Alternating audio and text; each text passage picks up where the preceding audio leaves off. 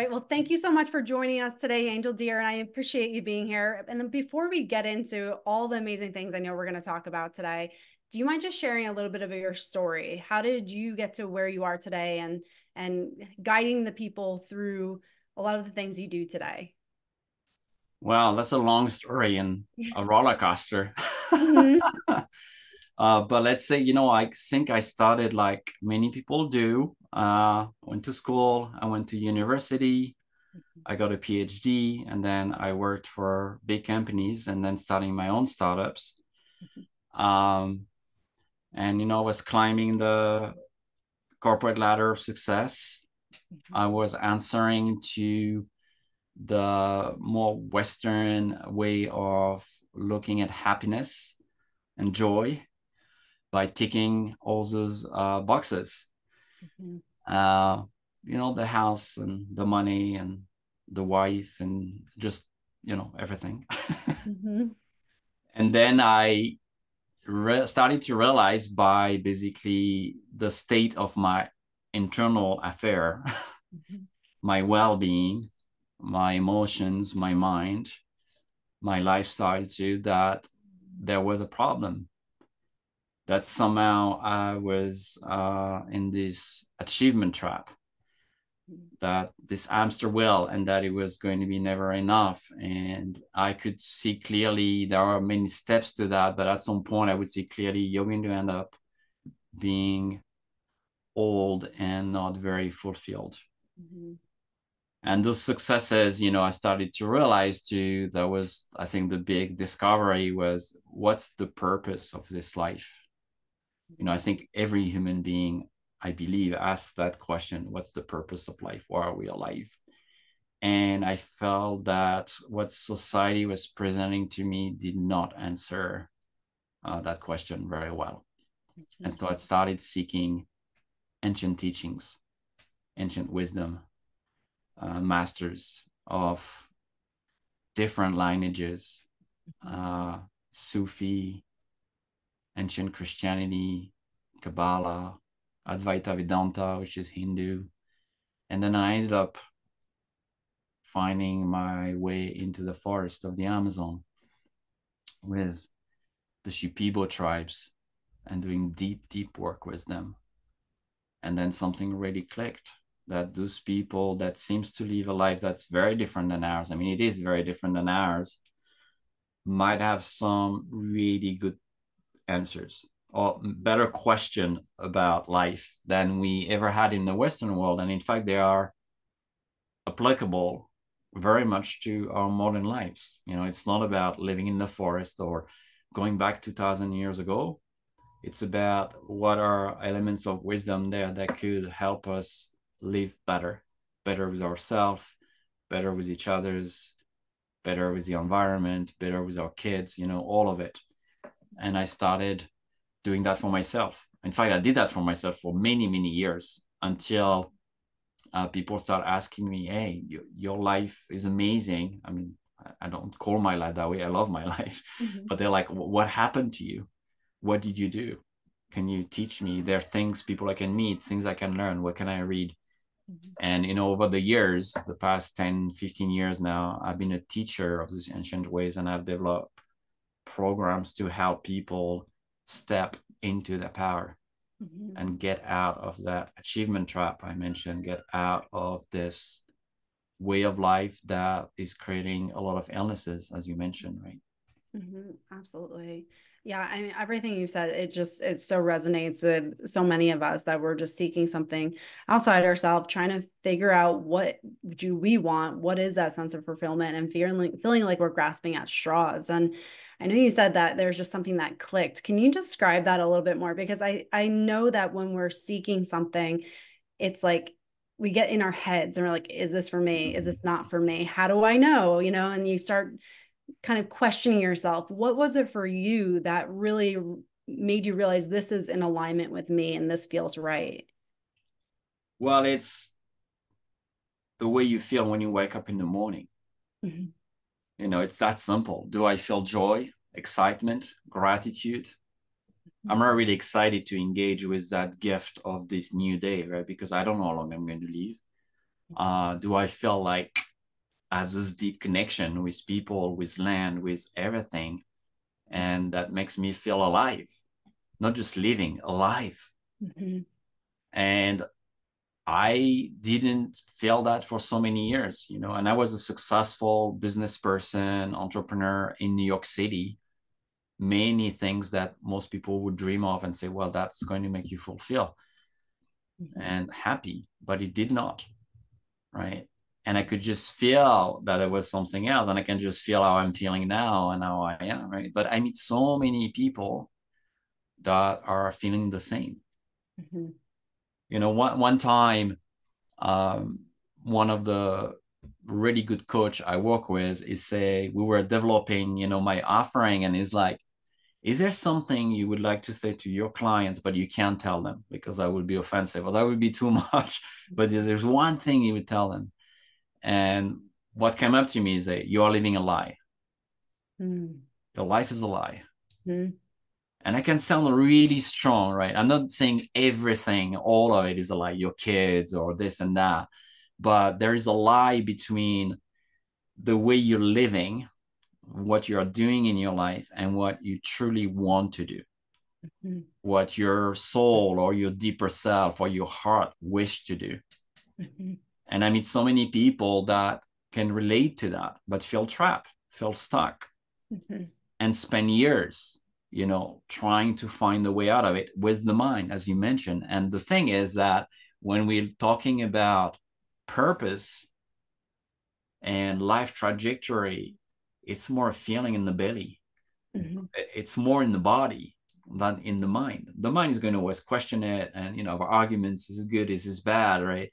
But we're not going to find who we are by using a program that got us in the wrong place. Mm-hmm that has been trained to teach us to be different than who we were when we were little. Mm-hmm. Like we have added all those layers into it that have got us away from our essence, our nature. And that's why we are, you know, sick in some ways. That's mm-hmm. why we feel discomfort. That's why we experience illness. From a shamanic perspective, illnesses is the top of the iceberg. There is a root behind it that created, you know, misalignment stuck emotions, many things that brought us to where we are. So, in many ways, we have to take a descent mm-hmm. into the belly, into the roots, into the soul, into the heart, away from the mind. Mm-hmm. So, we're not going to brainstorm our, our, our, life out of it, our way out of it.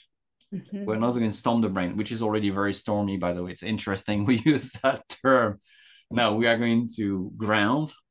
We're going to face what is there. We're going to open our heart. And then we're going to listen to what is arising.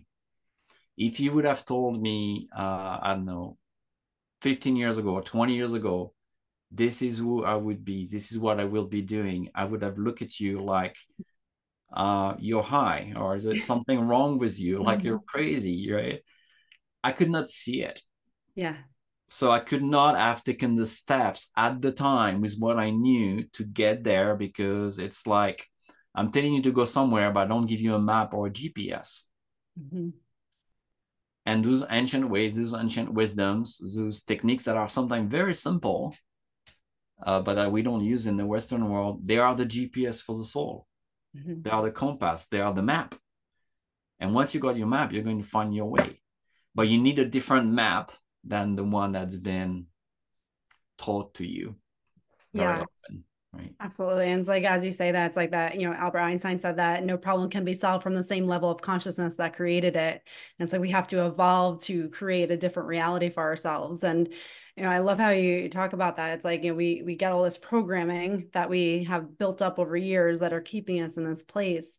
And, you know, we can look back at like children and see how free and loving and, and open they are and is it is a society that's creating this what what is creating that basically bogged down feeling that you know we don't start out like this but then we all seem to get to this place where we become adults and have to undo the things that have been done to get back to the place that where we started yeah i mean it's a really good question there are so many layers to it. I think you know it's not like a simple answer to that. Yeah. Uh, but there's definitely uh, a way of thinking that is uh, broken because look at the world. Mm-hmm. Mm-hmm. a way of being in the world that's broken because look at the world, right? Uh, mm-hmm. I think that's very obvious for most people I talk to. Mm-hmm. Um, there is also the fact that the world is very driven by consumption and capitalism and we become product of it. We are the product. So mm-hmm. we are geared into productivity. What are we going to produce? What is going to make value from that value system perspective? Mm-hmm. and in that there is never talked about uh, purpose. There's rarely talk about joy and happiness or it is talk in a way that in fact is not what true joy and happiness is about mm-hmm. there's very rarely talks about meaning mm-hmm. there's rarely talk about community and belonging mm-hmm. there's a lot of things that are missing in that uh, programming that we have received and indeed we are going to end up far away from who we are and if we are far from who we are supposed to be what wants to emerge there's going to be suffering you know, from the psychological level, emotional level, often physical level, and a spiritual level. Mm-hmm. We're not alive. The spirit is not, you know, kind of bright. We're just robots in a system very often.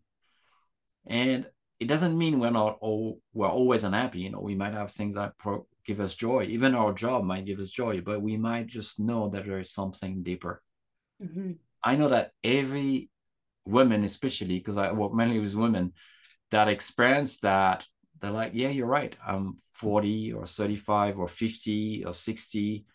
And I've experienced that in my life. There's this dream, there's this other way, and I want to go into it. I want to change. And it takes a lot of courage and commitments and discipline to do that. And I believe, you know, that's that's was my experience that we need people that have been there, that have gone through that. We need the right teachings in order to guide us through it. But most people will not take that road. You know, people will just stay in the suffering and try little things here and there and maybe listen to this podcast or buy a mm-hmm. book or things like that. But to do that change, you know, it requires some level of stamina. The gifts are infinite and immense, but sometimes the comfort of where we are at or the agreement we have with our discomforts mm-hmm. is strong. Mm-hmm. Yeah, it's that sense and we are not ready to like take this leap of faith and shift into it. Mm-hmm. Yeah, it's like that. But the quote, it's like that unf- that familiar hell or unfamiliar heaven. It's like, what are you going to stay in? And it becomes that sense of safety because it's predictable, our current situation. And for someone who's maybe listening who's like it is that that woman who's like maybe her 40s and 50s and is like is there something more? And they're they're teetering on that like do i just take this leap of faith for myself? What's somewhere they could start? Like what what's a place that could really just start to open up their journey and maybe get that first breadcrumb to really dive into more of a place that opens up life for them well, I think one of the first step, and it's something a teacher taught me many, many years ago as I was going through this process. He said to me, say, you know, you will not change until life as it is become unacceptable. Mm-hmm. mm-hmm. Unacceptable. And I thought it was a very strong word. In fact, I got really upset by it when he told me that because I was like, no, I really want to change. And he keeps telling mm. me that. He said, no, you still don't really want to yeah. you're still very attached to this personality the old ways that you are in. And i think we need to come to that point first where we know that point a is not where we want to be at all anymore. Like we don't want to live another day that way because the path is going to require deep strong work and it's not easy. And if you have kind of yeah i mean it's not great but it's also good you know i don't think you're going to go through the deep change and that's okay it might take you one more year five more years a sudden illness, a divorce, getting fired for your job. Something might happen, like COVID, you know, pushed a lot of people into reflecting on their life. Something might happen that really going to bring you to a point like, okay, this is not my life. Mm-hmm. And then there are steps, like I mentioned, which is this descent, this really starting to listen to the body instead of fighting it. Mm-hmm. From a holistic perspective, we look at emotions and discomfort as an opportunity to listen more deeply. Not that there is something really wrong, but that something is trying to speak to us, to tell us something. And we are going to start inquiring into that. That's why the first start is really this grounding, this embodiment, this being with that. You know, and when you do that work, very often you're going to meet a lot of unresolved stuff. Mm-hmm.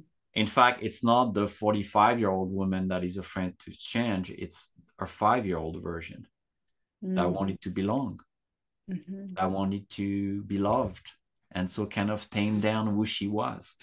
Very often you discover things that you thought are fear of, I don't know, money or change for your family, but in fact, they are anchored into older uh, trauma or experience of life that were unpleasant that told you to be a good girl, mm-hmm. to not be loud, to not step up into what you believe in order to stay connected, in order to belong. You know, as human beings, the, the greatest desire we have is to belong mm-hmm and to be longed for by a community. So we want to be belonging there and we want that community to really long for for us. We want those deep connections. Yeah. And we will very often sabotage ourselves or tame down ourselves or wear a mask in order to achieve that mm-hmm. at great cost mm-hmm. at great cost. On the long term, it has massive cost on so many aspects of our life. And when you wear a mask for 10 years, 20 years, 30 years, 40 years, it's very hard to remove. In fact, it's very hard to see what is the mask and what is you. Yeah. You might not even see that you're wearing a mask. You might think that, no, this is who I am. Sometimes mm-hmm. I have clients that say, no, no, this is really who I am. I say, okay, let's inquire into it yeah let's be curious right let's open to it mm-hmm. so yeah there is first i think that's one of the most important step because once you turn inwards once you start opening to that you start to listen to other voices than just your mind than mm-hmm. just the outer world you start to listen to inner voices mm-hmm. and then the hard voices start to open. Yeah. And then something that you know i don't like to speak hoo-hoo too much you know but some of my clients are and i can be too you know speaking that. But i think what really happened is that there is this essence what we call spirit what we call soul what we call i don't know who we are really deep down that arise. Because someone as mean me when i do that work is interested about that and say you know what i'm going to mm-hmm. start listening and naturally we become it. Mm-hmm. You know, we're a little bit like the acorn from an oak tree that has been planted in the wrong place and is not growing well. There's nothing wrong with the acorn. Mm-hmm. What's wrong is the soil. What's wrong is the environment. What's wrong is probably what the acorn. If the acorn believe it's a rose tree, it's going it's going to be really not like what he sees in the mirror every morning. Yeah but yeah. you can't really fix an acorn. We can't fix a person. What we need is to remove the falsity, all the layers that are not us. Yeah. And that's such uh, an empowering process because it's not about me telling you what you are. It's mm-hmm. about me giving you tools to unlayer that and discover it for yourself. And I don't think people are taught very often in the Western world to discover themselves that way mm-hmm. to be self empowered. And there is something really liberating when you do that process. And that's usually what gives you the stamina, the discipline, the courage mm-hmm. to invest resources into that. Yeah, absolutely. Um, I think you're completely right. Yeah, with that, I mean, we, to listen to your own voice, it's like there's so many messages that somebody knows you better than you know yourself, or someone has the authority outside yourself. And it's very easy to conform to that because it's, especially if you've been brought up in this society, it is very easy to say, like, oh, I'm sick. I need to do X, Y, and Z because that's what someone's telling me to do instead of being like i'm sick okay like how do i listen to my body how do i allow myself to heal and really tune into that. And one other thing you talked about was the emotions when you're in some of these emotional states, listening to that and trying to understand that rather than thinking there's something wrong with you. And I think that's mm-hmm. another big place we disconnect from ourselves. You know, maybe you're grieving, maybe you're depressed or, you know, experiencing some anxiety symptoms. And, you know, instead of saying, approaching it with curiosity, we try to either shut it down or numb it or do things that don't allow us to dive deeper into that. And unfortunately, that seems to be very commonplace. And mm-hmm. in that journey, you know, listening to yourself, there's a huge component to that trust. How do you how do you start to cultivate mm-hmm. trust within yourself when maybe you've trusted everybody else's voice over your own or everybody else's opinions or expectations over your own, over your own how do you start to dive into trusting yourself again yeah i mean that is a one step at a time process right? You don't just wake up with that full trust when you never had it when you have outsourced your power to others all the time. Mm-hmm. that's what we do right? We i don't know so i'm going to ask this person or that. Nobody has told me i have wisdom infinite wisdom. Mm-hmm. and in fact the reason there is discomfort in my life is because there is a fight mm-hmm. between who I am and this wisdom. It's already there. If not, there will be no discomfort. You'll be perfectly aligned. So it's already speaking to you. You already know. Deep mm-hmm. down, you know this is not your life. Deep down, you know you don't want to live that way, right? And we're not going to try to look at, okay, who can fix that? I mean, if you break your legs, yes, go to the mm-hmm. surgeon, go to the hospital, right? There's many things where you need a specialist. You need someone that knows how to do that. Mm-hmm. But here we're talking about who you are, your essence. Don't tell me there is someone out there that know your essence better than you. It's not possible. It doesn't make any sense, right? Mm-hmm. You are the master of your own life. You are the one that know. And in fact, where you are at is because you mastered your life this way. Mm-hmm. Maybe it was wrong guidance. Maybe you know you didn't know. But so when it comes to the self, and finding that it's like okay i made all those decisions that were not based on true wisdom mm-hmm. that got me where i am mm-hmm. based on other people opinion and my family and whatever do i want you to continue that way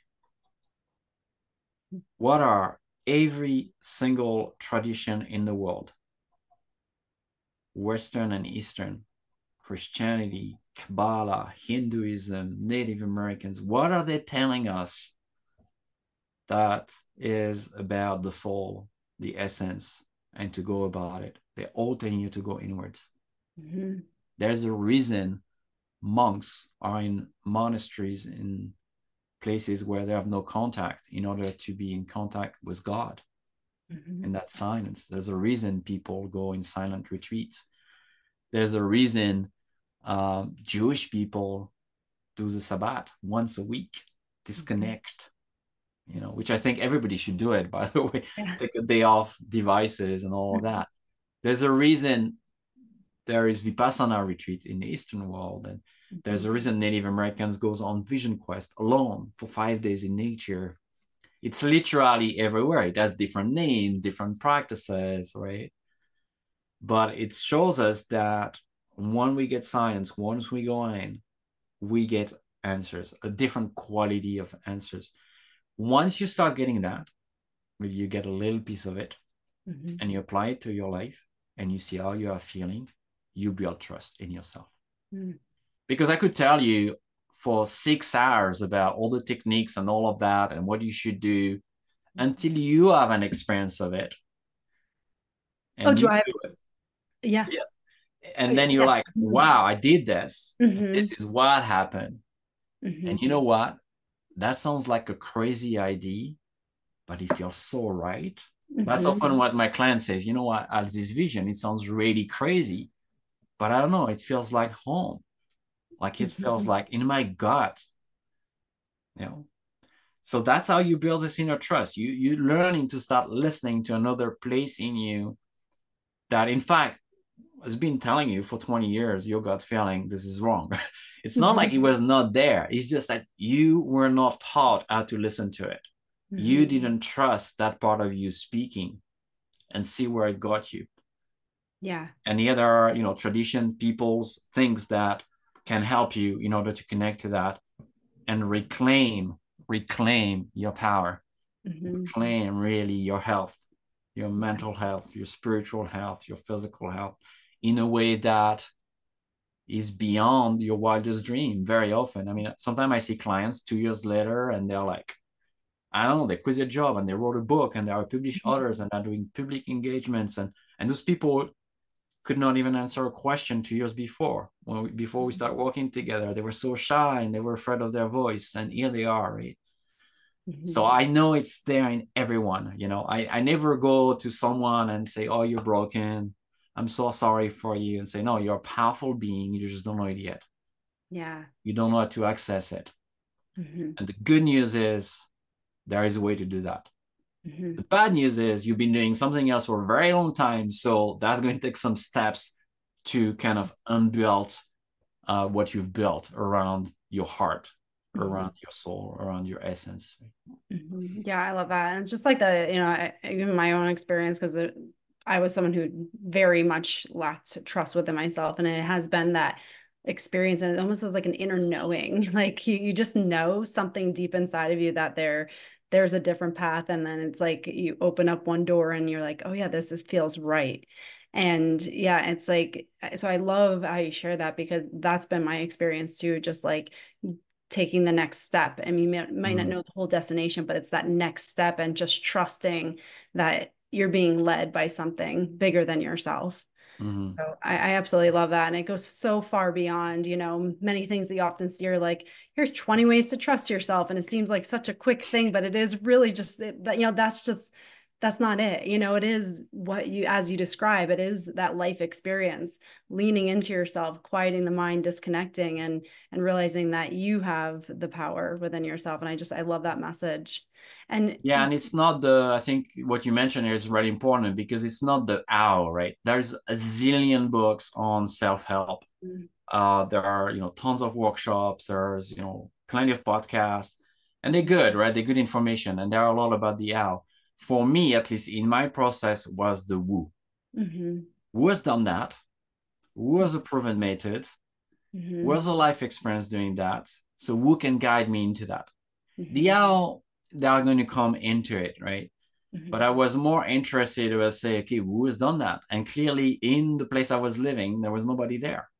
So i had to go find it. You know i spent years you know finding the who's and learning from them because i think that's really important we often make the mistakes like okay how so i'm going to take a class on this and i'm going to start yoga and i'm going to do meditation and Mhm. well you'll be surprised i mean i have clients sometimes that they've been meditating for 40 years Mhm. i'm not saying don't do meditation right because that's a great tool Yeah. and that's powerful but the problem is that you need a roadmap Mhm. you need some someone that can guide you into it Mhm. so who do you trust Mhm. you know and if you keep trusting if the woo is your family but they're not happy if the woo is your boss but is not you and it's not your life that the life that you want is this the woo you want to listen to in order to become who you really wish to be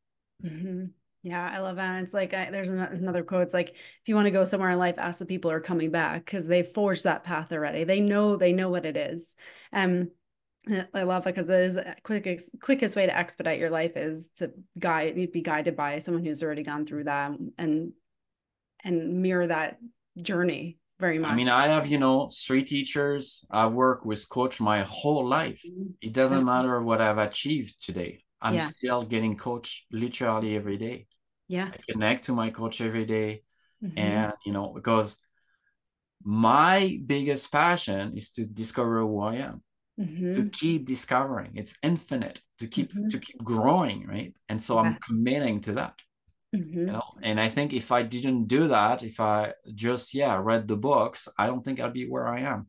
Mhm. It's because I had some sometimes someone telling me, you know, things I didn't want to hear That's that I didn't like. You know, my first coach, Yep. one time I didn't talk to him for three months. I was so upset by what he told me because he was not here for me to love him. He was here Yep. to kick my ass. He was here to make me step out of who I was. And I needed to hear things that I didn't want to hear. Mhm.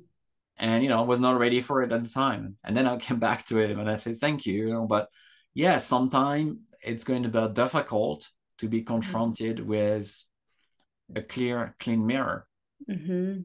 Yeah. And, and sometimes you need that perspective to see see that within yourself. Yes. Many times. Yeah. Yep. And I love how you share is like that there is discomfort in this. This doesn't mean that even because it brings you to a better place and brings you more joy, there's discomfort in the path. If That's- there's no discomfort, you're not doing the work. Mhm. It means Just you're avoiding in your comfort zone. There's no growth. We want to go to the edge and beyond. This is going to Mhm. be uncomfortable and scary and potentially difficult, but extraordinary at the same time. That's Mhm. for me a sign that you're struggling with a practice and something is hitting back, meaning we're on the edge.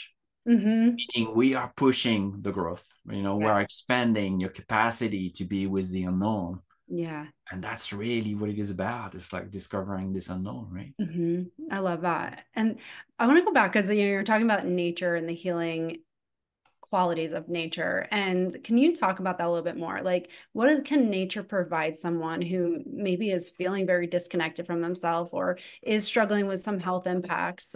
How can they really tune into nature and really allow nature to give them those natural healing properties? Yes, that's uh that's something that's present present in all the ancient teachings, native teachings around the world. Uh, the idea is that nature lives in alignment with itself, Mhm. each part of it. You will not find one tree in the forest that question its purpose, Mhm. that doesn't know who he is or she is or it is. Mhm. You will not find a river that does that. You will not find an insect that does that. You will not find a flower that do that. You will not find the stars or a sky that do that. So there are a set of laws and instructions in nature to guide life Mhm. for abundance, for development, for prosperity, for relation and connection. It's it's embedded in the way nature is. And when you disrupt the place, when you cut a forest, when nature is going to start taking over, and if we don't touch it for a century, it's going to come back to what it was. It remembers itself. Mm. It comes back. It doesn't like, oh, I'm too broken. I Mhm. give up. No, nature doesn't do that. Mhm. I mean, there is death in nature, there is illness in nature, but overall, the system is designed for that fostering of life and growth and expansion. So when we have disconnected from that because of our lifestyle, because of our culture, because of what we believe in our stories, and you reconnect yourself to it, you're putting yourself in the presence of teachers. So it's not just I'm going to sit in nature because it feels really good and I can relax because nature is relaxed. Mhm. So you're going to experience that just by the vibration around. And I'm sure everybody experiences that in a forest, on a beach, in a mountain, near a stream. There's something that is happening, right? Beyond the mind. Mhm. But it's also because everywhere you can look at, you can find those teachings that you're looking for. Mm. Like, how come this little tiny insect knows its purpose, its life, and go about it without ever going to school, without Mhm. ever reading a book, Mhm. and I don't. So I'm so yeah. confused and lost. I remember as a child being really interested by that.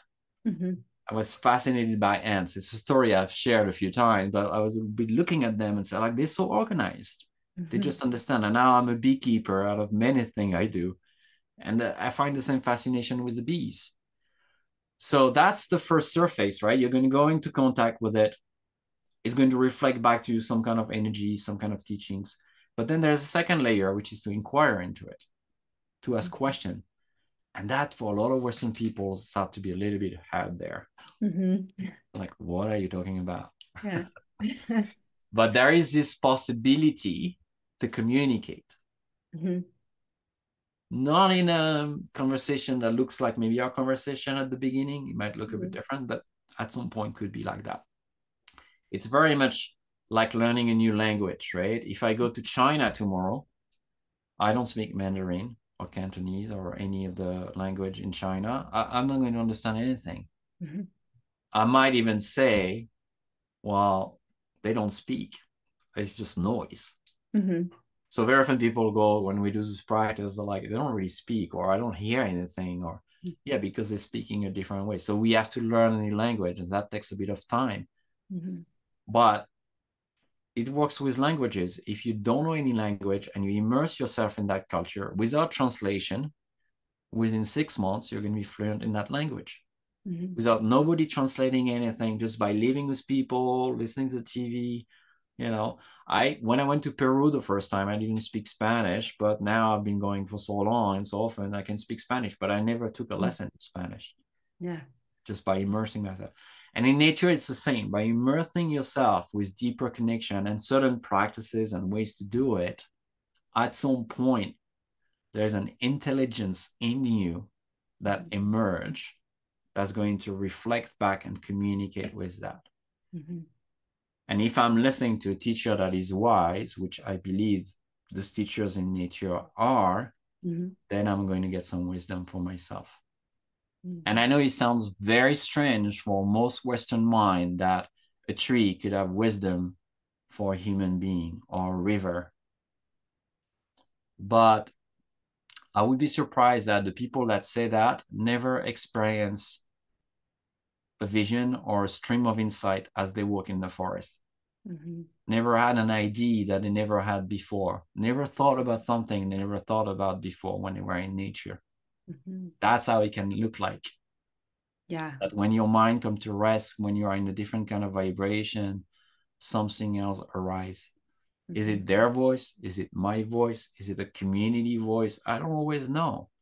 But some quality of thought, of thought, of wisdom arise when we do that. So it's a big part of the process. Not the only one, but it's definitely a place where we can go meet teachers without ego without an agenda over us right? They're just being mm-hmm. uh, and so that's also the beauty of it right? Yeah it's just those subtleties because i know exactly you're you know we're talking about that it's like those little messages that you, you, they're not screams in your face like we're kind of used to in society you know it's like blare glaring it's like those little messages that just kind of pop in your head and you're like oh you know? And i think it is really is like in those quiet moments that you can have those but i think for so many of us it's like we're so bombarded by things it's like you can really almost miss those things mm-hmm. because you're used to being so overstimulated and having to have it so in your face that mm-hmm. it can be hard to like conceptualize that when you're used to those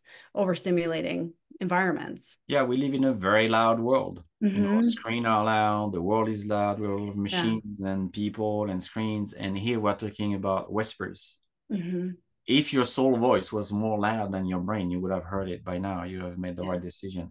But those voices are a bit more settled. Mm-hmm. They're a little whisper.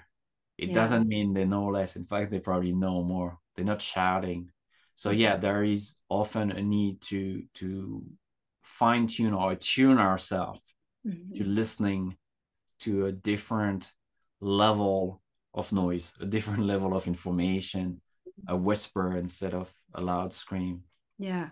Yeah. Yeah. I love that. And so I want to just like go into one more thing because you've mentioned a few times, and it's something I think for society now is something that's not as common, and that's that sense of community and mm-hmm. feeling like, you know, you're mentioning belonging. And I, in today's society, it feels very much like we're all on our own. We're on an island. We're feeling this sense of scarcity. We're competing against each other for everything. We're lacking trust in other people. We're lacking maybe communication that's helpful. And can you talk about community and how that plays a huge role in our healing, our connection, our evolution of ourselves? Mm.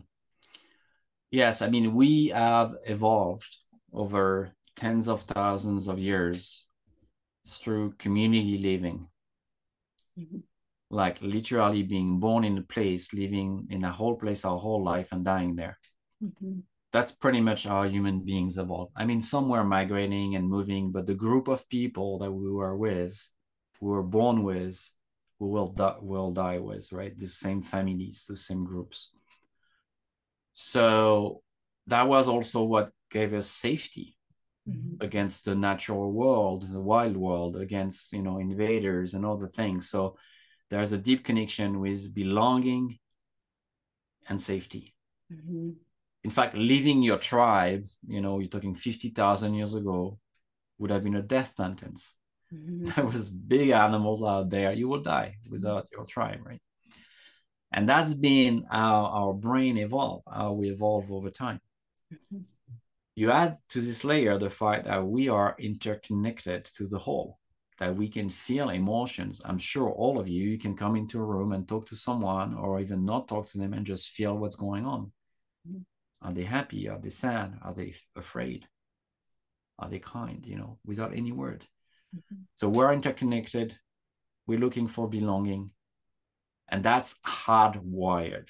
It doesn't matter who you are, what you do, what you learn, it's there. Mm-hmm. So we are always going to look for that. So now we've severed the connection to community. We don't grow up really like our ancestors did. We lost not just connection to the land we were living on for most of us, but we also lost connection to traditions, maybe even to the food. You know, I do a lot of ancestral work with people and say, what did your great grandmother cook? Cook that. Reconnect to your food.